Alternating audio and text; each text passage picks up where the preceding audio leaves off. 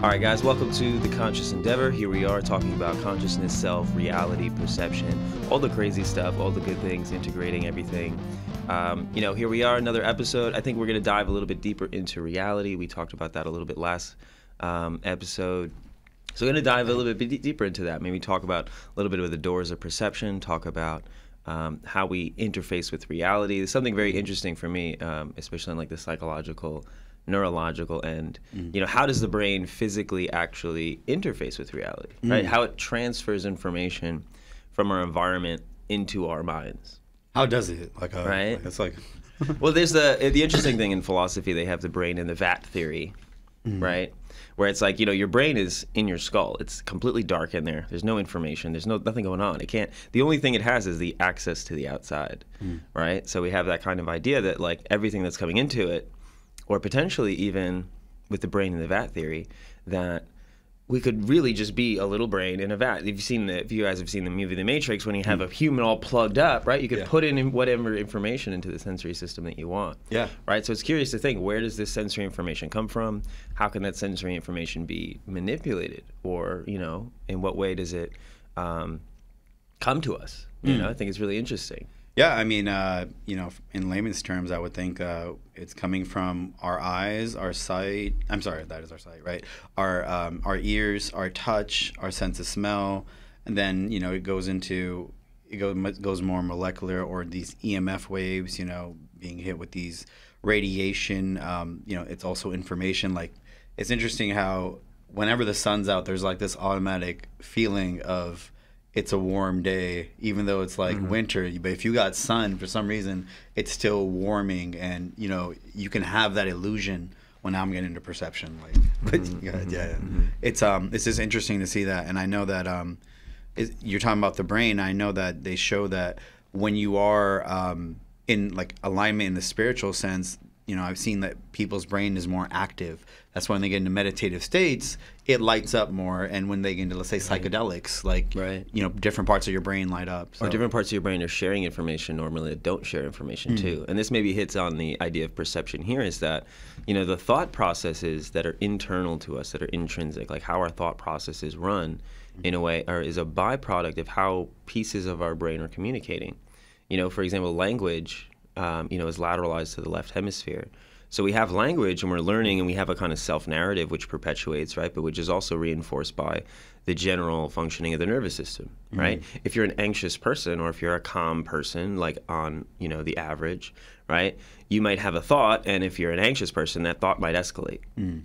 You have a language, and then all of a sudden now you're going to try to rationalize that with language. But in terms of you know psychedelics or spiritual experience, you know we do have and we do see more coherence in the brain, mm-hmm. which is really interesting. You know, more more communication between those specific parts of the brain. Um, and yeah, I mean, this is what becomes interesting to me because this is our perception is not only um, you know the sensory experience, but also how our mind propagates information. And where does information come from, especially in the sense of mediumship and channeling, mm. right? Where is that source of information, and what mechanism is that source of information? It's a it's a question that science really, um, you know, is still not really asking. And I think it's you know curious to think about that. Yeah, you know, uh, the way I kind of see it right now, or the way I experience is, I feel like we're antennas and we receive information from the ethers, and the ethers are these frequencies that we can't capture. You know, they say that we can only see. I don't. I mean, you might know better than I do. Like, if it's one percent of what actually is on this in this realm, and then the rest of the stuff is invisible. Like in mediumship, you know, you're able to talk to people who have passed away or have left this physical realm that we see. But uh, was it density that it goes to that we see the most dense things? And then there's there's so many things that are like less dense that are all around us at all times. And that's how you have those experiences where you hear a whisper sometimes, or you can kind of sense something coming. It's just this energetic thing that your brain is receiving. Mm-hmm. So like when I do readings for people I, I just feel like it's more like a oracle based thing where I'm like literally tapped in and I'm just receiving information from all these other places um, mm-hmm. all around us. And sometimes they come in different forms right. of energy. And this is not something I was trained on. It's just something that um, Right. happened one day. Or you became attuned to in Attuned a way. to it. I mean, which is interesting because again, talking about these perceptions, if these are not, there's not specific, as far as we know, as far as we study, they're not specific sensory mechanisms, Mm-hmm. right? Obviously, the light is the eye. You know, hearing, vibrations, sound waves are the ears. You know, but in terms of these kind of other um, sensory perceptions, especially when they're internal, when they're messages, when they're energies. I mean, you know, we all uh, every day um, everyday people, we're all looking around and, we're, and we get a vibe from somebody. Mm-hmm. You know, what is that? You know, and there's science now starting to dive into things like HeartMath, um, which is an organization doing research on the toroidal field, Mm-hmm. um, the magnetic field of the Earth. I mean, sorry, of the heart. Yeah. Right? You know what I mean? There does Um, have a magnetic field too, which it also uh, yeah, does, it right? So coinciding, right? All you know, um, entities in this way, Mm-hmm. right, have this magnetic field, and any change in a magnetic field can induce current, as we talked about like last time, right? So electromagnetism is a dual force, and it's like when there is perturbation in these magnetic fields, is there a sense there? Because other animals, like for example sharks, Mm-hmm. have this electromagnetic sense. They have specific organs that we can trace, at least neurologically. We can see the pathways, and this is why science accepts their ability to do so because we Mm. can trace those pathways. Um, but you know, the human brain is ridiculously complex. A hundred billion neurons connecting to a, you know, a thousand, you know, or one neuron connecting to a thousand other ones with a hundred billion of them. You know, What's the number in a shark though? Like how what's what are their numbers? well, I don't know the number uh, specifically, but they have this organ. It's called um, the ampullae de Lorenzini, and I think Lorenzini. You heard it here first. Yeah, I think Lorenzini is just the name of the guy who came up with it or found it. You know, but it's like these little jelly-filled things that are on their snout, Mm-hmm. and they actually are able to pick up on these magnetic fields, right? Because again, the heart rate of a fish Yeah. that's next to them is giving off these pulses and these these currents and things like that, and they're able to pick up on those vibrations. They have a similar thing that like travels down the line of their spine, where they're able to pick up on that. So, in terms of the science, it's really like if we haven't found the mechanism for how it happens, mm-hmm. we just kind of assume it doesn't exist, Yeah. and that's a, a problem with the scientific community. Yeah, I mean, and that's also like, where's the funding going to research what, right? And Yeah, to, that's pretty big. to circle back to the shark, um, you know, I, yeah, of course, we've all watched Shark Week, and I watched um, how they would touch that part of the sh- shark that you're talking about, it's like its snout, right, right by its mouth, and when you touch it, it puts it into a state of like I don't want to say paralysis, but it turns it over, and it just becomes like um, just it just lays there like in a meditative state. And when you, I've seen someone ride a great white shark, and you guys can look this up on YouTube. After he touched that part of the shark, the shark like you know became super friendly with him, and they started going back and forth. Right. And that's really interesting to see. And it's kind of like um, you know, circling back to perception or you know information. You know, it's how are we trained? What are the things that we are trained from in school? You know, because there are other places around the world um, where people are attuned at a younger age to understand who they are and what they are. You know, we are we perceive everything. I mean, at least I should say for myself. I shouldn't speak for you in this, but like, all right, when you're a child, what do they teach you? They teach you like a little bit of art, a little bit of reading, and then they're like, oh, what do you want to be? A police officer, a pilot, an astronaut, and all these things. And I don't know how many astronauts really exist, but that's another story. and like, It's a hard barrier of entry there. yeah, it's like, why are you even showing us that? But uh, that's another story. Um, the there's there's this tribe they talk about in Africa called the Dogon tribe, and I, I believe uh, you, you know about them then, right? You, Yeah, I've heard a little bit about them. Yeah, okay. They they were aware of Sirius Yeah. Star, right, which Yeah. is not visible to the naked eye, allegedly. Right. Yeah, super strange. They uh, and they say that, and, and you know, quote. I mean, I'm just saying, there's a tribe that I know of that they talk about the children are kept in dark caves while they're growing up, so that way that they are in tune with with the infinite. They're in tune with the divine, and that's why they come out with all this information that they they already they already know. Wow. Like they say that they already knew about our star systems before modern technology. They've never had exposure to it. They've known these things without telescopes and all these things that we use. So it's really interesting um, Yeah. about information, how we get it, and where does it really come from? Right. Because here are people who are being kept in a cave and they're they're getting all this information. And if you really think about it, we got a lot of the stories of the messengers of God.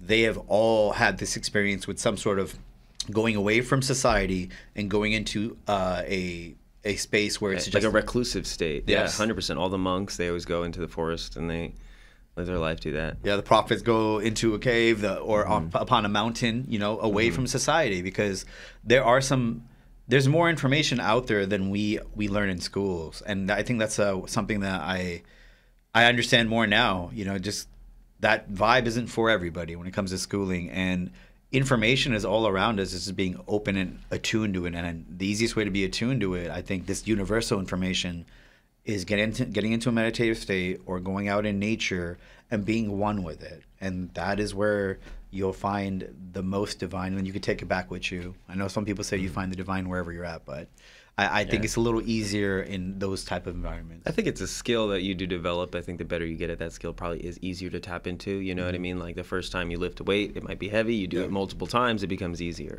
right? Um, something interesting about that too is in terms of like the sensory deprivation, which happens, right? Yes. Um, because if you're in a cave, for example, like these these kids who are growing up in this cave, um, humans are, are visual creatures, right? Our most of our brain, the largest portion of our brain, is really for visual processing. We're very visual based. For example, like dogs are very uh, sense, uh, s- smell, right, based. Um, so humans are visual creatures. So taking away visual stimulus, like if you're in a cave, the brain is now going to allocate resources for other you know types of perception right yes. um, they actually have studies that in blind individuals where um, people who are born blind, their brain, the occipital lobe, the back of the brain that normally processes vision, isn't being used, right? So what actually ends up happening is they start to, um, behaviorally, they start to like really pick apart the auditory stimulus. So they can make a sound, they can knock on wood, and based on how it sounds, they can tell the size of the room, right? Yes, so yes. all of these parts of the brain, mostly the parts that used to um, process vision, right, now go towards processing spatial reasoning or spatial information from auditory information. Yes. So the brain is very highly adaptable, and there's like probably a lot of credence to these people going into this cave, attuning the sensory system, getting rid of our largest sense, which is vision, and then trying to see what other perceptions you have when that's not in the way. You Yeah, know? I, I I seen that. Um, there used to be a show called Stan Lee's Superhumans. Uh, it was a it was a really dope show. Um, they showed this blind guy living in Mexico who could ride his bike and go through caves. What he would do is he'd make a clicking noise with his mouth, Right. and it would send this vibration out, and then he'd he get he'd get information back. It's kind of like they I think bats have that utilize that, and dolphins. So Yeah. like that sonar type of um, radar type of um, technology, we're all capable of it, and it's just the human. It, we're so amazing. It's just Yeah. stepping into that and knowing there's more than we currently know, and tapping into that infinite. Yeah. is- Yeah, just to drop the science on that, the super olivary complex um, in the brainstem actually uh, understands and can compare the difference in volume and in speed of sound between the ears. Right, so mm. if a sound is coming at you from one specific angle, mm. it's actually going to hit this ear a millisecond before it hits this ear. And those time mm. differences, there's a specific part of your brain that registers those time differences, and you'll know exactly where the sound is based on that difference between your ears. So your your brain is highly attuned for that also because that's just survival necessary. It's necessary for survival to know where a threat is coming from, where a sound is coming from, or enable for us to react to it. Wow, it's a and you know what you use this word. I you know it just slipped my mind and now it's back. Um, the sensory deprivation. Like I've been in one of those like float tanks and um, Highly recommended. Yeah, yeah. so you know, there's something about that. That's that training. You know what I'm saying? Like I know people like, hey, I'm gonna go do some training. I'm gonna go to the gym. Yo, if you go to one of these places, like you're sitting in a dark, completely dark room, Mm-hmm. your senses do pick up. If you uh, go to these uh, flotation tanks, your senses do pick up. It puts you in a state of like it feels like you're just flying or just you know completely floating, but in darkness. Right. And in that, you can tap into more of your senses. I didn't, I didn't know the science behind it like until you just brought it up, but it makes sense. I mean, that's why I, I think I've seen people. On, there's one guy on Stan Lee's. He could smell a gun in a room. He could smell What? anything in a room. Yes, yes. You guys can. What does a gun smell Yeah, like? I don't know. I mean, maybe the metal or something. Like, cause you ever like get like a new car and there's like leather, you can kind of smell the leather. I guess metal has a certain smell. Well, but he. that's really specific. Yeah, he, he he's. I think I don't know if it was the feds or the CIA that would um, they they tested on him because his nose was stronger than some sort of hound.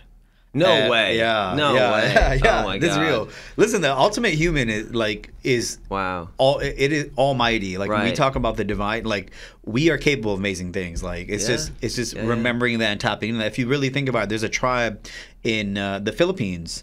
Um, I saw a post about it where they go spearfishing underwater and they stand underwater on these rocks to get these fish and they're standing there for a while time and they're throwing a spear in the water. So just to think about that, what strength, Mm-hmm. Yeah. what you know to breathe underwater, that to be underwater that long, and to you know hold Yeah. your breath, to to be a hunter underwater. I mean, one thing to be a hunter on land. Now you're hunter in the Yeah. water like that, and yeah, I mean, I always like to say that the, the body adapts to what the mind chooses in a mm-hmm. way. You know, whatever the mind is capable of deciding and saying we're going to do this, right? The body will make the adaptations to make that possible. If you every single day, maybe fact, a fact of your environment also, but your mind says, all right, we got to get in the water, we got to go fishing, we got to do this, we got to get more food, we mm. got to blah blah blah. The mind is making those commands. The body is now going to make the adjustments to do so. The mm. second you put your body underwater, you know your diaphragm's going to compress. You have more compression on your body. You have all mm. this sorts of stuff happening. You know the body is going to make these physiological um, changes in order for you to survive. Your body is in a way, maybe we could say the body is unconscious, um, so to speak, right? But it's literally just reacting to the conditions that are around it. When you do cold exposures, Yes. your skin tightens, your your uh, your veins, you know, constrict to restrict blood flow. Your heart rate kicks up, your metabolism kicks up to burn more energy, to burn more fat, and your body just unconsciously allegedly unconsciously does these things right when your mind puts you puts you in certain circumstances your body's just going to react to those circumstances Yeah. you know it's really it's That's that's wild that you said that because I just did a cold plunge on um, New Year's Day, Right. And uh, went to the ocean, and it was super. It was just freezing, but I will tell you, it Yeah. was so amazing. It was such a rush. Exhilarating. yeah, Yeah. and it made you like that sense of I know I always feel alive, but to that that's a different feeling alive, and Mm-hmm. it's really amazing, and it's it's it goes to show like. That's not something I would have tried anytime, maybe two years ago, three years ago. But now that I know about cold plunges and how beneficial they are for you, I, I'm a big advocate for it. On top of that, it's one of those things like we were taught limiting beliefs when we were children through our family, through our culture, through that the music. cold makes you sick. Yeah. Remember that? Like, don't yeah. go outside Dude. when it, with your wet hair in the cold because it's gonna make you like. Shoot. Yeah. Sickness comes from viruses. Like, how does that equate to? I don't know. Yeah, you know, and it, it's wild because when I was a child, I used to, I would wear a coat, maybe, but I wear flip flops all the time. Even in the winter, Right. even two, three feet of snow, I'd go out. It's It- it- crazy. yeah, dude, That's crazy. but that's that, that goes to show you that this is like Right. people putting limiting beliefs on It's you. mental. Yeah, and Right. when, when people talk about their your senses, you know, we're we're taught five senses. You know, we're taught five senses. Which science already admits there's more. yeah. With, all right, there you go. That's. Thermoception, nociception, you know, all sorts of different things. So. and that that to me is like it it goes back to like our schooling and our education. Mm-hmm, I, I I wish they would. I know there are some schools they talk about they have a meditation uh, routine, but um, ultimately it's something that we should all incorporate in our lives. It doesn't have to be this thing that you might find corny or something. It could just be sitting down and listening to your breath and focusing on your breath. It could be just maybe saying one word, focusing on one word, and it'll slow down all the clutter that goes on in the brain and it'll help you bring in more information, and let go of things that might not serve mm-hmm. you. Yeah, definitely. I mean, quieting the mind is, is a huge practice, especially for just tuning into. I mean, it's funny too because if I don't meditate for a while and I sit down and meditate, mm. I will literally sometimes just have a, a pen and paper like mm. next to me because like I'll sit there for two minutes. And I'm like, oh, that was what I was supposed to do this morning. Like the mm. one thing I forgot, and I'll sit there longer, and then something will come to me I have to do next week, right? And the funny thing is, it's really time expansive. It's like, oh, that was this morning, and then this. But the more, the longer I sit, mm. the more that I kind of expand. Oh, last month, mm. like I should have went down this avenue. I should have networked with this person. I should have done this or whatever. And it's funny too because a lot of the insights that come are like really insightful. It's always like killing like four birds with one stone type thing, where it's just like, oh, if I just did this one thing, Yeah. right? It's very hyper efficient. I feel like if we get out of our own way, consciously speaking, um, because our conscious mind is very reactive. Mm. You know, it's very like um, based on surface level interactions in a way, if I'm going to Yeah, say. yeah. You know, I think our unconscious mind is stronger in terms of you know computing power. Mm-hmm. Um, our conscious mind is just sitting here being like, I like the color blue, like.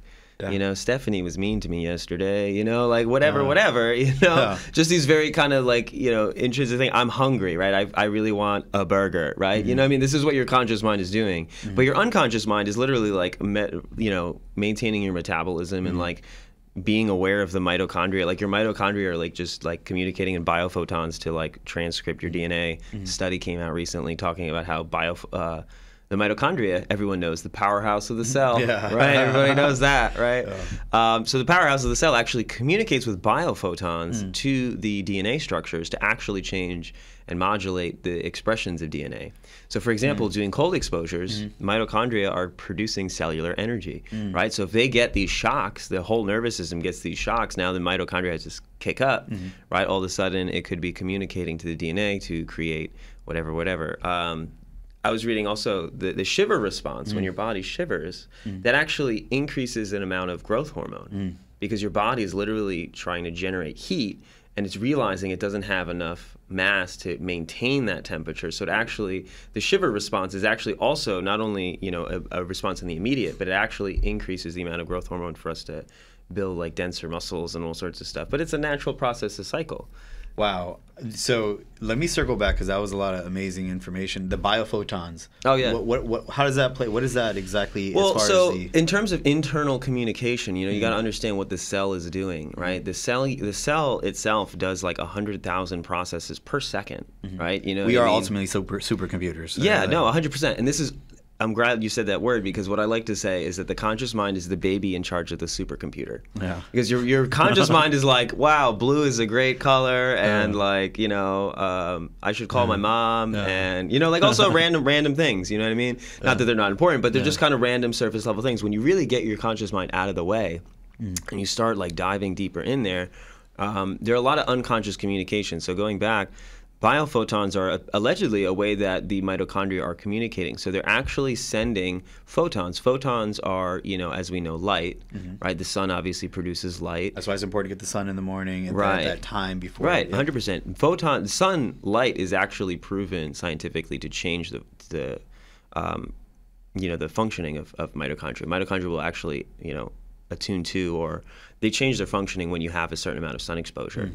Um, there are whole classes on this and stuff like that, so I don't want to go super deep into it. It's not like 100% my forte, but I've been lightly read up on this stuff. But um, yeah, so inside the cell, we have all of these processes happening at 100,000 of them per second. You really got to think about like, how do they communicate? How do they coordinate? How do they not run into each other, right? Mm-hmm. Like one thing that's building like a, a part of the cellular membrane runs into a ribosome who's building a protein who's like transcripting the DNA. Like how do these things not run into each other? And it's mm. there is an internal communication system, and what they found is that some of these mitochondria are you know using biophotons.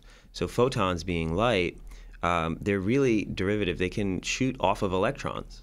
Mm-hmm. Electrons can absorb light and they can give off light, um, and this will change their orbital pattern, right? And this is like kind of some crazy science, right? But we have the the neutron, the you know the nucleus and the electron. The electron is just orbiting around. The more light it exposes, it'll actually go to a higher orbit, right? The electron. So and then if it gives off a lot of light, it'll come closer and it'll come at a smaller orbit. So the amount of energy it, it like you know uh, absorbs or releases, it'll change its orbital pattern, and they're very capable of doing this.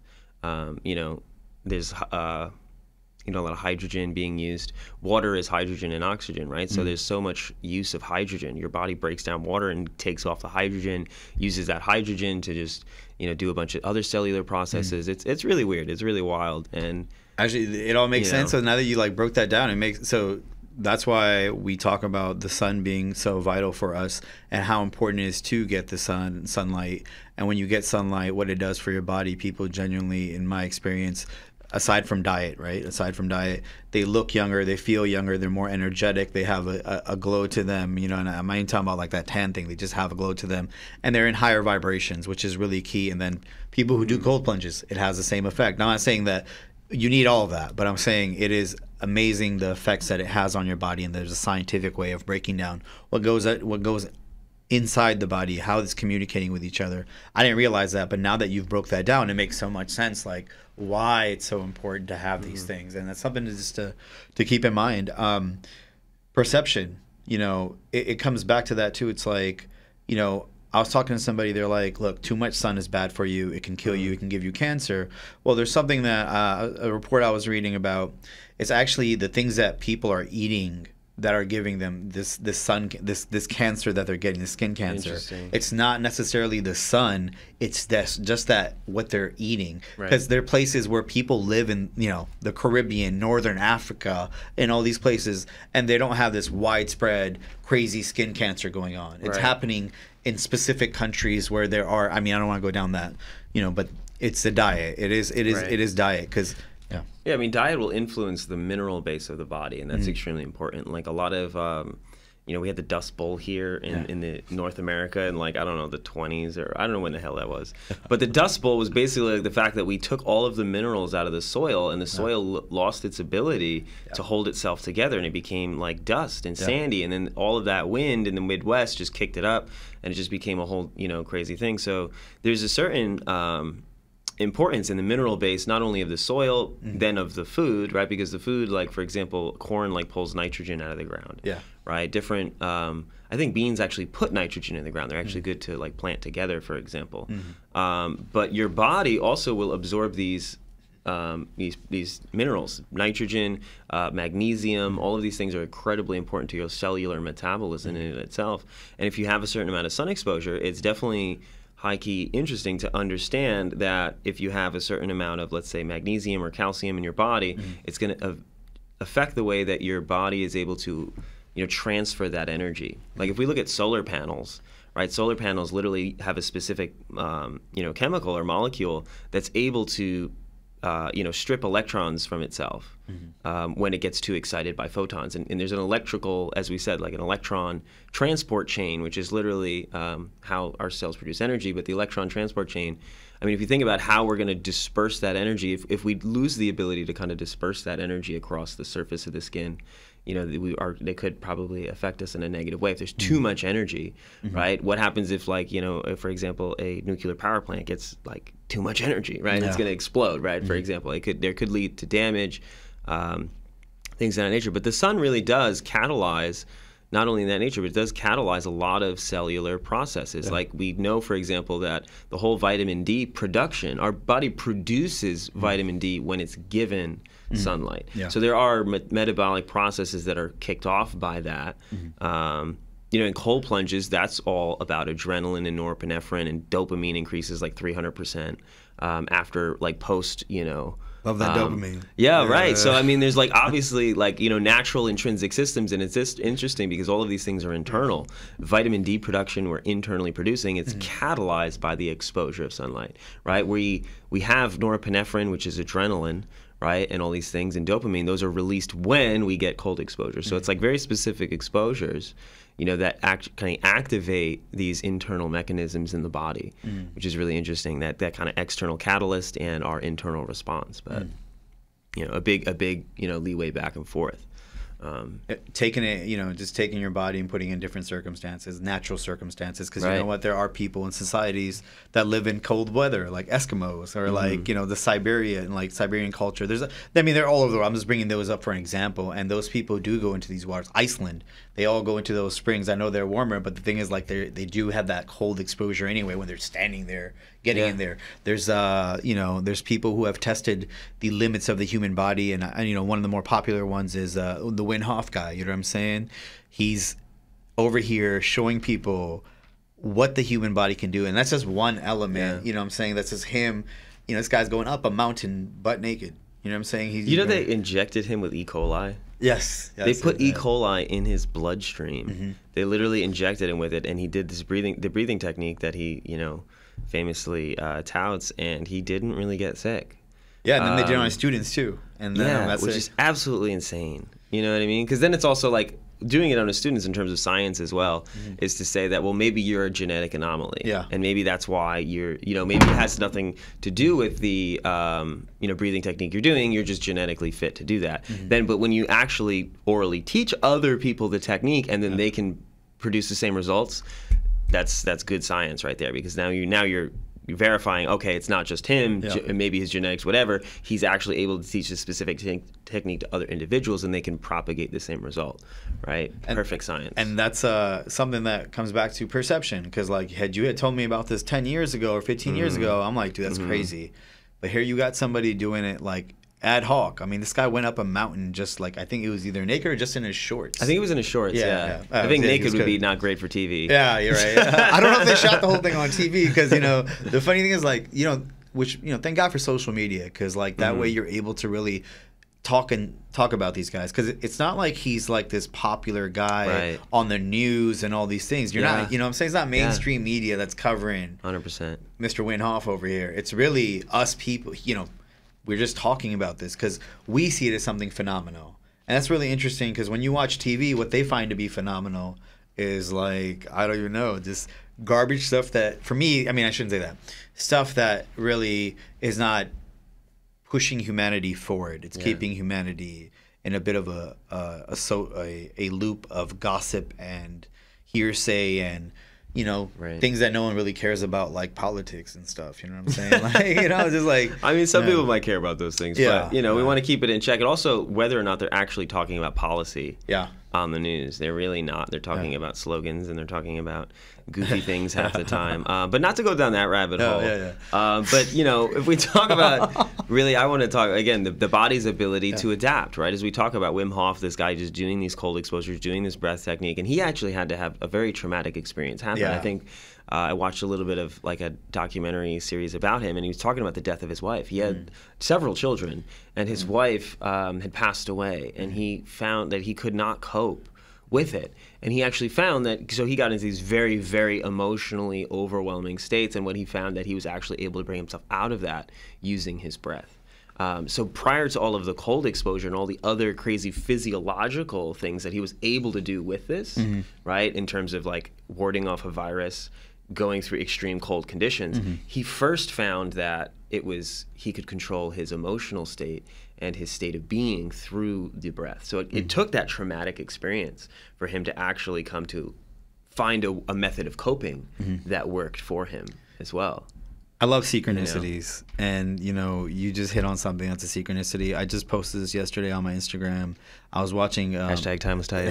Time to stay, right? I was watching uh, Avatar, um, the second se- the second um, iteration of Korra, Legend Korra, and Okay. Aang had this had this quote. He says, um, "At your lowest point, you are open to the greatest change."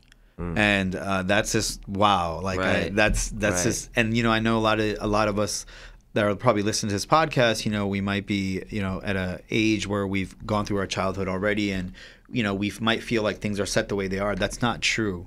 Things are not set in stone. You can shift your mentality. You can tap into these things. Wim Hof's example of it. I'm example of this. Daniel's uh, example of this. So it's really just stepping into that, knowing that the human body, the human mind, your soul, it's capable of such amazing things. And that's what we're talking about here today on the Conscious Endeavor. I just want to remind everybody you can shift anything in your life. Yeah, I mean, one thing that Wim Hof says is his a famous quote of his that he says that I love. He says, "Don't wait around for science to tell you what you are." Mm. He said, "Be what you are, Yes. and let Yes. science study you." And I was just like, I was like, "That's the most badass thing I've ever heard in my life." Because again, a lot of times, and I see this in the scientific community, that people look into textbooks, especially with psychology. Even mm. you know, you look into textbooks and you say, "Well, what the textbook says is basically what is," mm. right? And they stop like they kind of it becomes ironically a self-limiting idea in and of themselves. If it's not in a textbook well mm. then well how can i give that validity mm. right? And the problem is is that people don't understand that you know science is just about the study of phenomena. Mm. And everything is a phenomenon right? Mm. I mean we got into this whole debate with dualism and with uh, behaviorism to say that if well, we can't observe it if we can't observe a, a particular behavior mm-hmm. which then grew into a physiological or brain response or something like that if we can't again as i said before if we can't find the physical mechanism for it we you know say it doesn't exist right? And now at the point like you know when we say maybe particularly i don't know if these studies have been done but something be interesting if someone goes into a, a, a frame of mind of mediumship or channeling or something like that and we study differences in the brain waves. Mm-hmm. And there might be fundamental differences of waking brainwave mm-hmm. state which is probably just alpha or low beta right? Where you're just chilling right? You you have a resting brainwave state then you ask that person to go into channeling and then compare those brainwave states It might be gamma then, you know. what I'm saying? Right, that's what I'm saying. Yeah. So even if Right now, all of a sudden, science would say, okay, well, now there's a physical mechanism. We don't know what mediumship is. Maybe mm. a scientist might not accept the validity of that. But look, this person is going from a low beta to into high gamma, or whatever it may be, or, or whatever that distinct brain response is. Mm. Also, where that brain response is localized mm. is really important as well, right? Because where in what part of the brain? Right? We know the brain is localized, right? Which just means that each part of the brain does a specific function, right? My arm, moving my right arm would be up here, right? Um, you know, speaking, speech, uh, comprehending speech, they're all in different parts of the brain. So, what part of the brain is more active during those those practices, right? Would be an interesting question to ask, but things that they're really not. They're not diving into right what, part of your brain is more active, like when you would do a somersault, like you know? Uh, sensory motor, sensory, your sensory motor cortex, your parietal lobe, um, which is on the top of your brain, right? Which is a whole body map, actually. Like your your um, and you're cross wired as well. So my right hand is controlled by my left hemisphere. Um, it would be you know right here in the sensory motor strip, which is kind of like in the middle of the head, um, on the side. Wow, you know, I, I was just joking too because I, I can't do a somersault at literal. this current moment. But hey, you know, Yeah, what? yeah, yeah. Right, now I know what part of my brain will be working for that. Um, Yeah. You know, it's interesting too is the, the perception, right? Reality. You go to the east. There's different philosophies and different studies, and you know, and then there's you go to the west. It's different. There's there's a lot of you know, I would say there's more spiritual influences in the east part of the world where you where you don't see as many of these like universities and colleges that are made by what would say what I would say fr- from like this Western society. You know what I'm saying? We talk mm-hmm. about college and universities. There are people who have, yeah, they believe in you know ancestors and they believe Right. in you know communicating with them. They believe that you know. I remember when I was a child, I was watching this thing in India uh, about they had a temple where they all feed the rats because they believe the rats were their ancestors and stuff. Wow. You know what I'm saying? And then they have monkey temples there. They still do like it. These things are, and they're able to communicate with them. You know what I'm saying? I remember when I was growing up. An animal would be considered like, yo, they're nowhere near what a human is. Yeah, in the West, it's really It's crazy. It's funny because I had a, a philosophy of mind teacher like in my undergrad, Yeah. and he was like 70 years old, and he still had the idea that like the human humans are the only conscious species on Oh the planet. Like we're the only intelligent species allegedly. I'm like, did you look at a dolphin's brain? Yeah, Like it's yeah. literally bigger than ours. It's literally bigger, and like you know they have the whole echolocation thing. Yeah. They have super. They have communication. We've started to study into them. They have names. Yeah. Wow. They have names. And Like there's a recognize themselves in specific sound Yeah. that they utter that refers to one of them. So it's like, eh, eh. you know what I oh, mean? Oh, like, shit. Oh, shit. Eh, you know, that, that's his name. You know, that was his cousin. right, right, and right. So there's different frequencies that, like, because it's like, you know, my name's Daniel, right? Yeah. Type, right? Yeah. There's different frequencies. There's sounds that we make that refer to each other. Yeah. It's literally they literally have names, and they have names for objects as well. Yeah. They've actually put um, objects in the tank Mm. with these animals, and they've noticed that they refer to the same. They kind of do the same sound, which Mm. just means they're naming it. They're referring to it. Right, so they have a language. Yeah. We're just not able to decipher it. Yeah. you know, it's I, I mean, and I think, uh, yeah, I think we would be if we put more, you know, 100%. uh, if we put that, what is it called, funding towards it, right? Right, It's where are we right. putting funding, right? We're funding on other stuff. But to circle back, uh, recently uh, we're, we were talking about the white owl um, and just how, what magical stuff it's capable of, the way it can like twist its head and all these things, and We how. Talking about that? Oh, I well actually I, I was at this. Uh, I went to this yoga thing where they're talking about it. Yeah, and Cool. it, it's actually the way it hunts. You know, it can go all the way like as high up in the air, and it, it's able to spot and sense where things are. So like Right. when we talk about consciousness, like that's something that's really important. What is consciousness according to the science community? Because from my exam, from, from what I've seen, Right. They've made animals seem like, yo, you got a bird brain, you're this and that, but like they know what to do Right. naturally. Like they also they're more in tune with specific um, faculties. I feel like, for example, eagles and, and owls they have higher. Um, you know, they also have different. Um, there's there's. I read up on this once, but in an eagle's eye, there's actually like a literally a reflector lens. So like light comes in once, it bounces off, it hits a reflector lens and gets amplified. Wow. So there's like literally a physical mechanism inside the eye of that animal that makes their perception um, enhanced. But to to hit your question here, like what is consciousness in terms of that, in terms of science? Yeah. I mean, I think consciousness in a way is synonymous with self awareness to some degree.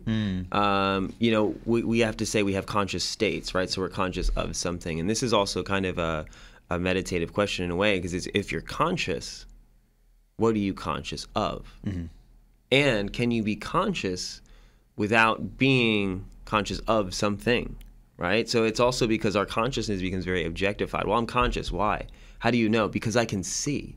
Because I can see the wall Yeah. around the walls around me. I can see this. I can see that. I can feel this, right? So it's you're be conscious of something. It's kind of a product, and in a way, and I'm hit, hitting kind of more of the Eastern, you know, practice on this. But because you are conscious of something, Yeah.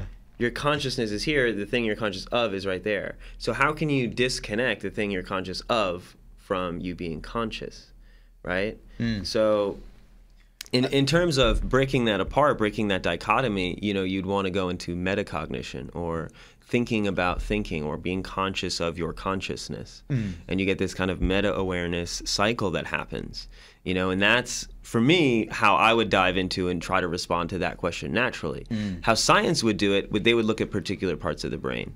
Um, if we want to dive into that, th- it's called the default mode network. But do you want to chime in here? for a Yeah, I'll chime in. I'll chime in. in? Yeah. yeah. You know what I will say is, uh, so beautiful points, and thank you for explaining that. I look at some of the tests that they do on animals, like when they're talking about consciousness, and the reflection was one thing. Do they identify themselves in reflection? Mm-hmm. mirror the test. mirror. The mirror. Yes, yes. And to me, it's like I don't necessarily know if that's conscious because to me, it's like when you get when you're conscious and just hyper aware, the physical realm it may not be as important. It's just like what are you here to do? Are you doing that? And it's like it's just you being in the zone. So like when you see animals do what they do as far as like hunting or hanging out or chilling, I don't know how important it is to them how they look. Yeah. Uh, that might be something that is Right. and then some animals are just blind. They're just blind. Mole rats. Yeah, mole rats. And they they can go all around. Or maybe I don't know. Yeah. yeah. But my, my point is like we always I mean my in my experience what I've seen is it always has to be this comparison to human. Like, oh can they build things? right. Like the honey badger is amazing because the honey Yeah. badger he could use a stick and he could do things with it. Crows are amazing because they can use instruments Yes, they and use they're tools similar to how we use yeah. tools. So that makes them automatically better. Well, my thing is like Mm-hmm. I I feel like every every animal is exactly what it's supposed to be. They don't need to build a little smart city. you know what I'm saying? Mm-hmm. For them to be conscious. For them to right. be conscious. well, like- yeah, it's also like why how do we behave you know it's like is that conscious is behavior conscious like building cities is that a product of intelligence it's like well if you have emergent intelligence for a dolphin for example they don't need to build things outside of themselves i mean we build houses because we can't stand the cold Yeah. like that mean that means we're not fit for our environment we actually have to do things externally Mm. in order to sit in temperature controlled rooms you know what i mean with our food that gets killed and delivered for us Microwaved. brought to us. You know what I mean? It's like we, we're actually really inept. Yeah. And we have to make these externalities, right, in order for us to survive. So that's just our particular way. But to echo on that, it's really crazy because a lot of the ways that we interpret behavior and we interpret animal studies and things like that is what we call anthropomorphized. Uh, we're anthropomorphizing it means like we're we're making it comparable to human behavior, Wow, right? So, for example, with as we touched on the mirror test, just to break that down a little bit, they'll give an animal uh, a particular marking. They'll put like a red dot on their head, and then with chimps, we the, the the monkey will look in the mirror and then go, "Oh, what's this red dot?" They'll physically touch it, Yeah. right? And then that for us is to say, "Oh, okay, well now we know that the monkey recognizes itself." Yeah. And the alteration to itself by touching the mark right but now imagine you're a dolphin you can't touch your head Yeah. Yeah. right so you can't you can't do this you can't mark your head right so how do we know that the dolphin is now conscious what happens with that they'll put the mark on their side Yeah. and then what happens is they'll when they're in the mirror they put the mirror underwater obviously but the dolphin will s- slick to one side the side which the dot is on and that we infer Mm-hmm. the fact that oh it's it's now aware of that. But the interesting thing is we need to now understand animal behavior and alterations of animal mm-hmm. behavior to make sure that they understand or, or that we can infer that they are conscious due to this practice. So it's such an interpretive practice and, and the closer that they are to mirroring us in terms of the monkey the monkey can actually touch right? So we can say okay the monkey's conscious right? Yeah. he touched it. He touched it with his hand right? Because they have hands right? What about the animals that don't have hands right? You know what i Mm-hmm. mean? Like Yeah. now we have to have this whole other process of inference to say whether or not we know that the animal is understanding the alteration to itself Mm-hmm. which means it's understanding itself. There's like so many layers of inference you know of assumption that that happen in, in our scientific process. It's it, I find it to be like I- at, at some point, and that for me, in my opinion, like it's almost I don't want to say it's useless, but it's like I feel like these animals, if you just observe them in their behavior, you're able to really just see what they're about, what their personality's like, what what do they like to do, Yeah. and then like you know us doing these tests is like. How aware are they? And then let's just say we find out they're super aware. What are you gonna do next? Now you're gonna give one a mm-hmm. talk show. You know what I'm saying? Was it Mr. Ed? Was it Mr. Ed? Dolphin talk show. yeah, why not? That might that might be interesting. I can see that. Yo, it's Dolphin Week here. We got Mr. Yo. Dolphin. We got We got Daniel the Dolphin. This is Stu. He's Yeah, here to uh, communicate with us. Yeah, yeah, Um, damn, where was I going with that? Yeah, you know, the conscious endeavor. We're just talking about perception, reality, and Mm-hmm. it's to circle back all the way to reality, right? Just Mm-hmm. just back to what it is. Yeah, I mean, also we were talking about adaptation, the process of adaptation, which I think is really cool. And I did want to cycle back actually a little bit to when we were talking about. Also, we got to answer that question about consciousness. That's Yeah. that's everyone in the Yeah, room is like, yeah. come on, come on, how do you define consciousness scientifically, right? Um, right, sit down, guys. But um, I did want to touch on when we were talking about sensory deprivation, right? We, we mentioned the people in the cave, right? You know, lack of visual processing, their brain gets utilized for other measures. We talked about sensory deprivation here in the in the West. You know, you can actually pay probably fifty to hundred dollars to sit in a, a pool full of water and just be, you know, pre- uh, you know, consciously present, no visual stimulus, no auditory stimulus. What happens with a lot of people who do those sensory deprivation tanks? A lot of times they hallucinate yeah, technically speaking, they're hallucinating. Hallucinate. They're hallucinating, Yeah. right? Because your brain is lacking, or your brain is used to a certain level, reticent level of sensory input. Hmm. All of a sudden, when you bring that all the way to zero, even when you're sleeping, like your eyes are closed, Hmm. right? You might still have a perception of light behind your eyelids. You still have sounds of vents and things like that. You have the feeling of, you know, uh, the pillows or whatever's around you, right?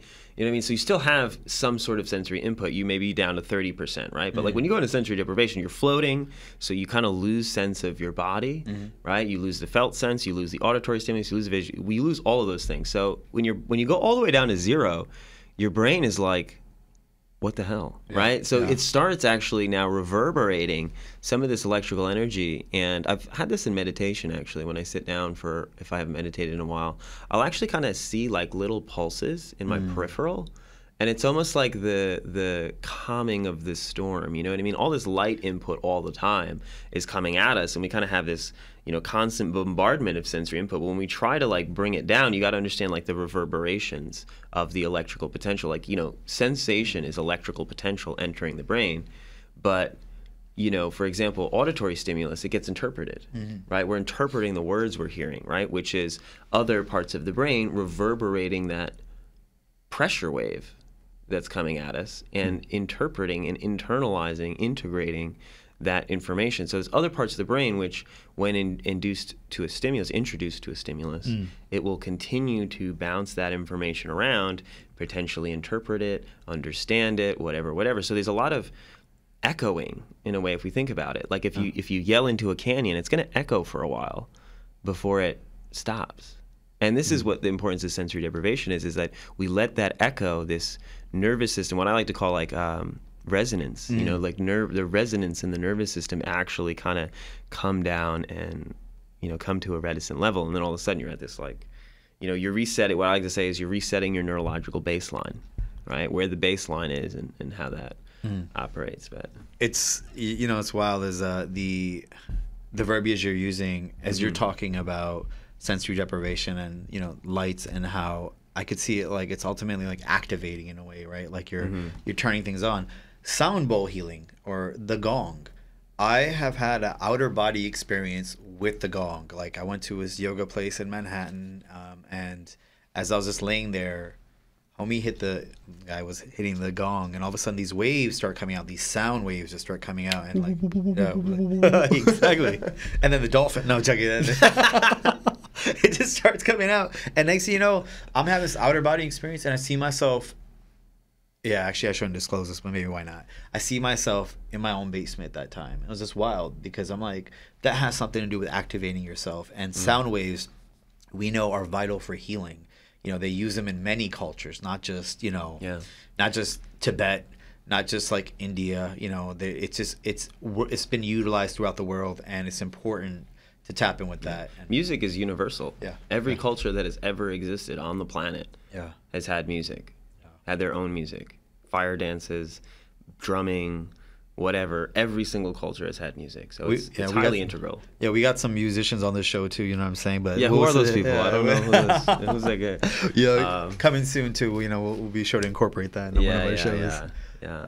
So Consciousness. Yeah, reverberance, resonance, Yes, right? all All, of these things, coherence, right? These are actually our terms. I mean, harmony and dissonance, right? Mm. They talk about cognitive dissonance, which is another interesting thing in parallel in terms of music, uh, because we create harmony with two tones that work well together, Yeah. right? Ter- uh, tones that don't work well together are dissonant, Yeah. right? We can have ideas in ourselves, self-facilitating ideas, or ideas that are detrimental to the self, right? And whether those ideas are harmonious with the person, right? Or we, if we have two ideas that are conflicting, right? Those are cognitively dissonant, right? So there are a lot of parallels and even like, you know, just analogies in that sense. It helps us understand, um, you know, because the cognitive space is literally invisible, right? So for us to actually start to break that down and understand that, it's like, you know, it becomes really interesting. Um, but to touch on consciousness just in general, we start to talk about some of the science that we we've been promising you guys, right? So there's this whole science, or, or at least the uh,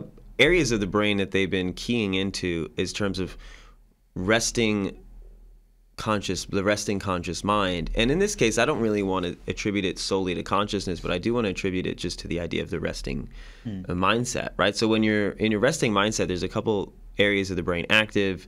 Um, it's like the precuneus the the medial frontal lobe.